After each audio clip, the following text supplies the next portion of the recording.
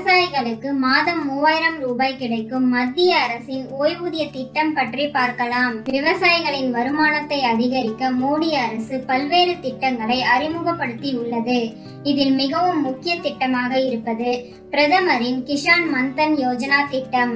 இந்த திட்டத்தின் கீழ் இதுவரை இருபது லட்சத்தி எண்பத்தி ஏழாயிரத்தி நூத்தி இருபத்தி மூன்று விவசாயிகள் பதிவு செய்துள்ளனர். பிரதமரின் கிஷான் மந்தன் யோஜனா என்ற திட்டம் நாட்டில் உள்ள சிறு மற்றும் நடுத்தர விவசாயிகளின் சமூக பாதுகாப்பிற்காகவும் விவசாயிகளின் முதியோர் பாதுகாப்பினை உறுதி செய்யும் விதமாகவும் கடந்த இரண்டாயிரத்தி பத்தொன்பதாம் ஆண்டு தொடங்கப்பட்டது. இந்த திட்டத்தின் மூலம் மாதந்தோறும் சிறு தொகையினை செலுத்துவதன் மூலம் விவசாயிகள் அறுபது வயதை அடையும் போது அவர்களுக்கான ஓய்வூதியமாக ஒவ்வொரு மாதமும் மூவாயிரம் ரூபாய் வழங்கப்படுகிறது.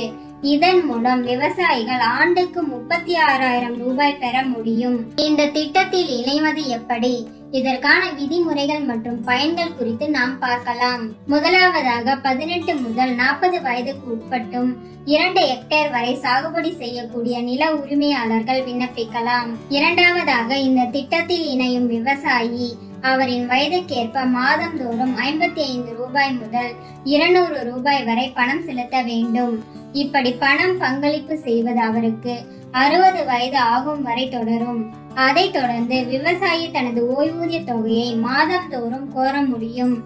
விவசாயி இந்த திட்டத்தை இடையில் விட்டுவிட விரும்பினால் அவரது பணம் திருப்பி கொடுக்கப்படாது. ஒரு குடும்பத்தில் உள்ள கணவனும் மனைவியும் தனித்தனியாக விவசாயிகளுக்கான ஓய்வூதிய திட்டத்தில் இணைந்து கொள்ளலாம். பயனாளர் மாதந்தோறும் குறைந்தபட்ச ரூபாய் மூவாயிரம் என்றும் வருடத்திற்கு முப்பத்தி ஆறாயிரம் ரூபாய் வீதம் உதவியாக தனது வயதான காலத்தில் பெறலாம். இந்த திட்டத்தில் இணைந்த விவசாயிகள் ஓய்வூதிய திட்டம் முடியும் முன்பே இறந்தால் அவருடைய மனைவி திட்டத்தை தொடரலாம். அவருக்கு விருப்பம் இல்லை எனில் கணவர் கட்டிய தொகையுடன் வட்டியும் சேர்த்து மனைவிக்கோ அல்லது அவர்களது பிள்ளைகளுக்கோ தரப்படும். ஓய்வூதியம் பெற்று கொண்டிருக்கும் விவசாயி இறந்தால் அவரது மனைவிக்கு ஐம்பது சதவீதம் அதாவது ஆயிரத்தி ஐநூறு ரூபாய் வழங்கப்படும்.